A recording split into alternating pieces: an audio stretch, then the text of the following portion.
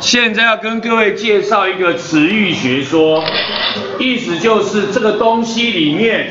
就是有好多好多的小小的磁铁在排着。这个磁域学说以现在的电磁学的观念来看是错的，是不够正确的，是有问题的。但是我们不管，因为它可以帮助我国中生解决我国中生会碰到的状况。OK，左边这张图，每一个小磁铁到处乱排，因此 N 极跟 S 极互相抵消，所以你看不出有磁性，看不出有磁性。右边那张图，大家排列很整齐，那右边都是蓝蓝的，我们说是 N 极；左边都是红红的，我们就说它是 S 极，所以它就会有明显的 N 极跟 S 极。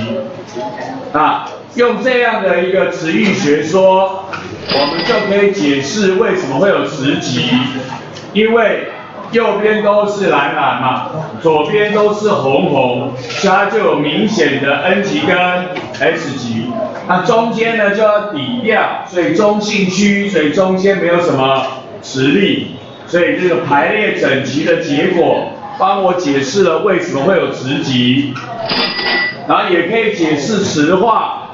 左边这个叫乱七八糟牌，磁力就抵消消失，没有磁性。我拿一个外加的磁铁过来，它会同名极相斥，异名极相吸，就会使得我左边的乱七八糟顺着我的磁力同名极相斥，异名相吸去排好，排好就变成有磁力了。所以它可以帮我解释为什么会被磁化。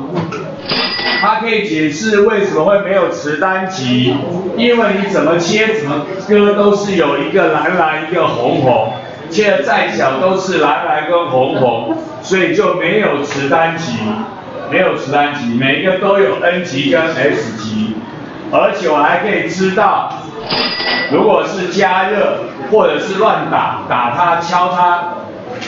加热就是这里面的小分子都会开始到处乱动、到处乱转、到处乱排。那本来是排的好好的，有磁力，一加热之后开始乱转乱排，它就变成像左边这样排的方向开始乱七八糟，就抵消了，就没有磁力。所以我们就知道，如果对磁铁加热，或者是打它、敲它，破坏它的排列。它就磁性就会消失，消失。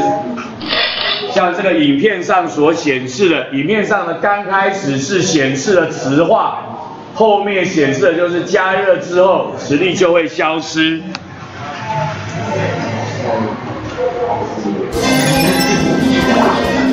磁铁放后将会被磁化，在这个吸铁晶。然后去加热，磁力就会消失，就会掉下来。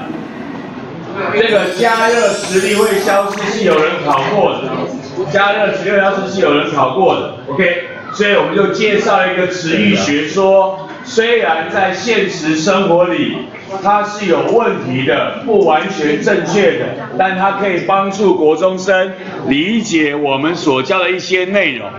OK 吗？OK。